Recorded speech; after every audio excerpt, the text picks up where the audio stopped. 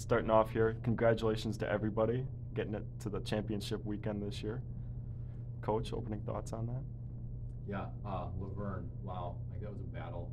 Um, and uh, Coach Hendershot has got that team uh, doing some really special things, and they're super young, and they're going to be really good for a bunch of years to come. And so, uh, congrats to them, and um, I'm sure their future is bright. Uh, for this group, holy, let's go. Um, we talked about it before the match, just manifesting, uh, seeing something with such clarity and such confidence that you know you can make it happen. And it's one thing to see it, uh, but you can't explain the feeling when it actually happens. So I couldn't be more proud of this group to do what they just did tonight.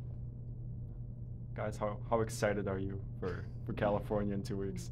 So excited. I mean, we obviously just said like no words, but Yeah, seriously. we've worked so hard for this, and it's what we've been thinking about. I mean, since we, I don't know, since I've been playing in Mhm. general, like I feel like everybody dreams to go to Elite Eight or just keep going in the NCAA tournament, and Yeah. here we are, and yeah, but one game at a time, obviously. Anything from you, Sammy? Uh, I, it's just a surreal feeling, and just to be able to play more days with the team that I have is just amazing. Cool.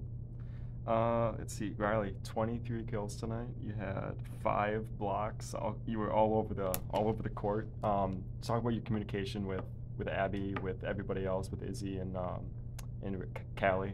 Mm-hmm. Yeah, I don't know. I just feel like when you we talked about the like flow state mindset a lot and just being like that flow state, and I think that we've practiced so much that sometimes you're just in that kind of um, like autopilot and you trust your players so much that I don't know, it just all comes together, and um, I'm just really lucky to play with the girls I do. So.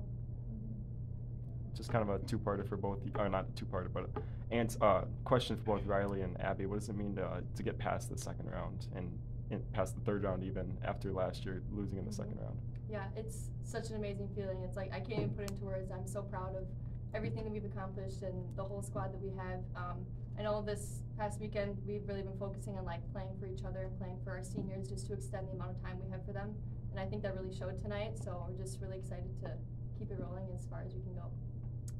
Exactly what she said. I don't know. It's just, I have no words as well. Like so, it's such a surreal moment. I don't, I don't even know what's happening.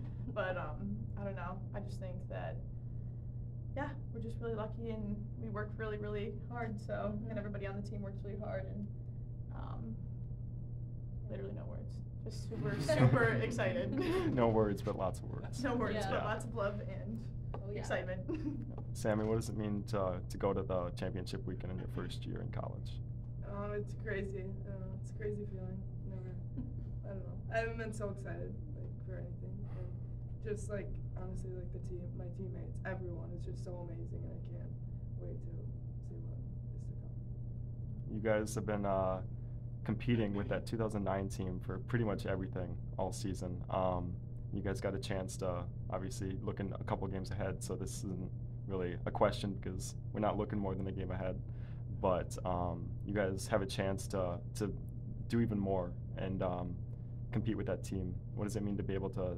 That's a that's a really historic, one of the probably the best team that we've had historically here at Oshkosh. What does it mean to be in the same conversation even as that team?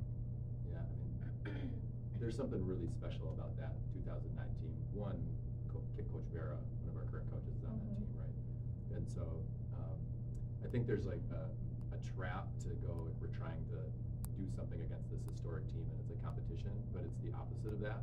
Like we feel this camaraderie uh, and this tie to that team, and so uh, to have like I'm getting emotional right now because these women are amazing, our alumni are amazing, and so to have that kind of support and tie from generation to generation, it's um, I don't even want to say it's like a friendly competition.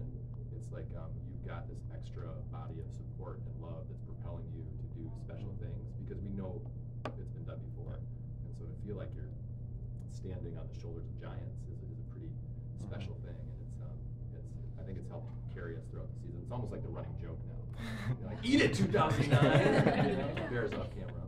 Yeah. She's got nothing on.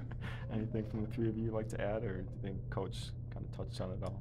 Pretty much Yeah. got it all. Yeah. I don't know. I just think. Just like, I mean, obviously acknowledging the success that they had and like knowing that they did great things, but just staying present where we are, just focusing on one game at a time, um, is just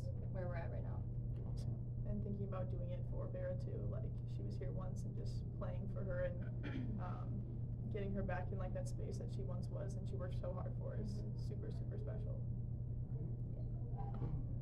I think that's all I got for you guys. Thank you for coming. Thank you. Thank you. Yeah. Thank you.